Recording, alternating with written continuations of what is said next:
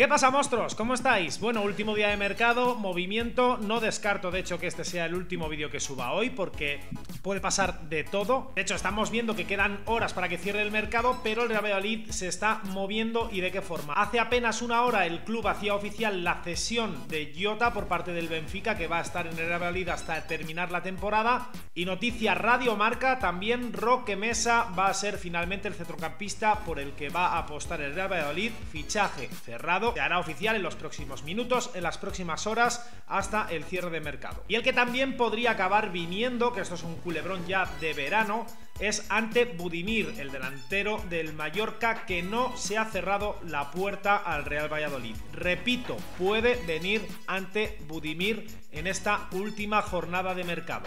Por eso te recomiendo que te suscribas, que actives las notificaciones para no perderte ninguna noticia. Y como a Budimir y a Roque Mesa le conocemos un poquito más, hoy toca hablar sobre todo de Jota.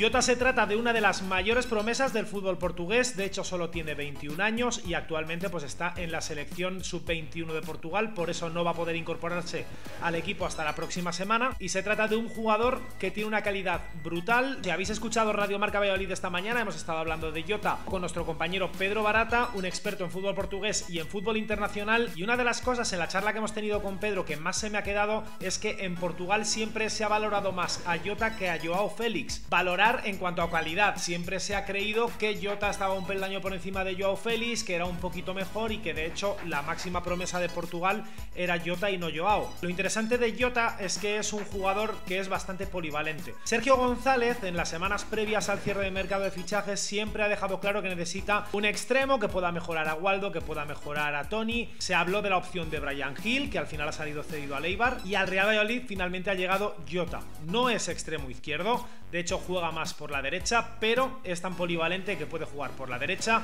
por la izquierda y también de media punta de enganche en este nuevo sistema de 4-2-3-1 al que nos está acostumbrando Sergio González. Uno de los pros que tiene Jota también es que es ambidiestro, por lo tanto yo creo que ponerle por la banda izquierda tampoco va a suponer un problema, ¿no? El cambiarle de banda o bien cuentas con un hombre que te puede jugar tanto por la derecha, por la izquierda, como media punta si algún día, pues oye, Tony, Orellana, Oscar Plano o alguna de las muchas opciones que tiene Sergio la cabeza no termina por cuajar, pues siempre tienes la posibilidad de poner a Jota en esa posición. Los pros que tiene este jugador, bueno, pues viéndole un poquito he visto que tiene mucha velocidad, que tiene mucho regate y que es muy vertical. Como hemos hablado de pros, también vamos a hablar de contras y lo decía muy claro Pedro Barata, que yo me fío más de él, que le ha visto jugar bastante más que yo, que es un jugador que tiene mucha presión encima porque siempre se ha tildado de estrella o de joven promesa. Y que al final se acaban poniendo unas expectativas muy superiores a las que el jugador puede ofrecer en una temporada normal. Es como si siempre se esperase de él dar el 10, dar el máximo, tirar del equipo y ganar partidos. Y muchas veces nos olvidamos de que solo tiene 21 años y de que ha habido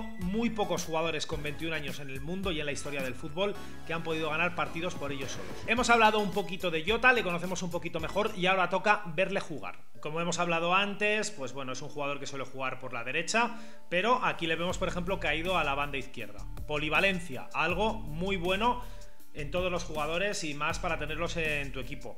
Si tienes a un jugador que solo sabe jugar de una posición, pues sales perdiendo, pero si juega en varias, pues oye, bastante bien. Bueno, ahí la croquetita de Iniesta que se ha hecho y se le nota bastante jugón, hombre. Acaba de dejar en la enfermería a este lateral izquierdo, pero eh, habrá que, ver de lo que es capaz Jota. Bueno, golazo. Aquí fíjate cómo la pega, cómo cae a lo folla seca. No tiene mala pinta, ¿eh? No tiene mala pinta. También os digo, eh, llevamos 30 segundos de vídeo y son los primeros segundos que veo jugar a, a Jota. No había oído hablar antes de él, pero bueno, tiene, tiene buena pinta. Mucho detalle técnico, como hemos hablado antes, son uno de sus pros.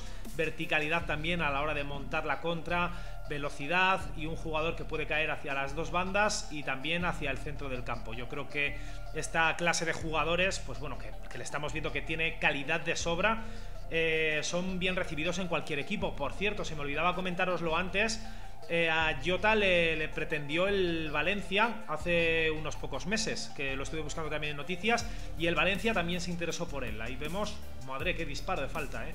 Pues no le viene mal al Real Valladolid un buen lanzador de faltas, porque la verdad, eh, creo que podemos hacer todavía más daño a balón parado y que no estamos exprimiendo eh, todo lo que podríamos exprimir las acciones a balón parado. Bueno, tiene a tres encima, se saca el disparo y saca bien el, portero. Velocidad, regate, verticalidad. Quizá puede pecar a veces de adornarse demasiado, como lo estamos viendo. Es un jugador que le gusta tener mucho detalle técnico, mucha ruleta, mucho tacón, eh, muchos caños, pero si acaban saliendo bien, ¿a qué clase de aficionado no le gustaría tener a, este jugador en su equipo? Tiene un valor de mercado de 8 millones, pero tiene una cláusula cercana a los 80 kilos. Así que bueno, demasiado que hemos conseguido una, una cesión, pero me parece que es un melón por abrir. Es decir, me parece que es un jugador muy joven, que es una promesa, que no sé si tendrá hueco en el, en el once titular de Sergio González así de primeras, como sí que lo ha tenido el Yamik, que apenas lleva una semana y el otro día contra Leibar fue titular, pero eh, habrá que ver. Es un perfil de jugador que Sergio González actualmente creo que no tiene en plantilla. Un jugador que, bueno, segundo libre directo que le vemos transformar a gol. Y bueno, como acabamos de ver en el vídeo, es un jugador que puede ofrecer mucho a este Real Valladolid. Lo vuelvo a repetir, está el tema Budimir todavía abierto y Roque Mesa que faltan prácticamente unos flecos para que firme también. Así que no descarto que este sea el último vídeo que se grabe en el día de hoy. Así que para que no te pierdas ninguna novedad en este cierre de mercado, yo te recomiendo que te suscribas, que actives las notificaciones y que me pongas en comentarios qué te parece Jota, si habías oído hablar de él, no, y cómo ves su llegada al Real Valladolid.